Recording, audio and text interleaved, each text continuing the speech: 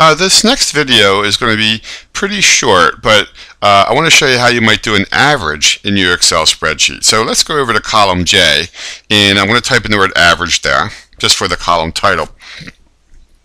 Now, one thing that you could do is uh, you can maybe take the total and divide it by the number of cells. So mathematically, I'm going to say equals this number divided by 6 because I have six different entries there.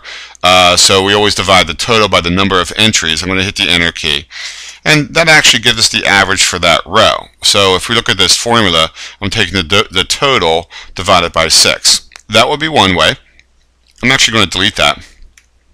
Another way is you can use uh, the average function. It's built right in.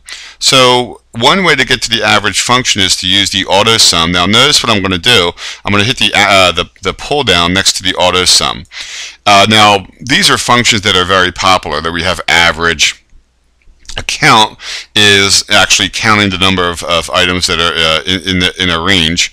Then we have the maximum number, the minimum number, and then we're going to talk about more functions perhaps in a different video. But I'm going to uh, pick on an average. Now, um, in this case, the auto sum didn't exactly pick the proper range. If you notice, it's going from C4 over to I4. Well, I don't want to include I4 in the average because I4 is the total, and if we include that in the average, the average will not be correct. So when the auto sum does not pick the right range for you, you want to pick your own range. So I'm going to uh, click on cell C4, and I'm going to drag it over to H4. So really, I just want to average everything from C4 to H4. Notice what the formula says. Equals, average is the name of the function, open parentheses, C4 through H4, close parentheses. I'm going to hit the enter key. And actually, it gave us the same mathematical result.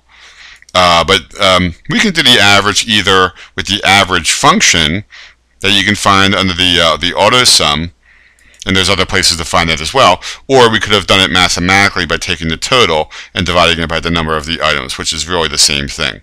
Uh, now, once I have that first average, of course, I want to get the speed fill and drag it down to the column so that now I have the average for the rest of the rows as well.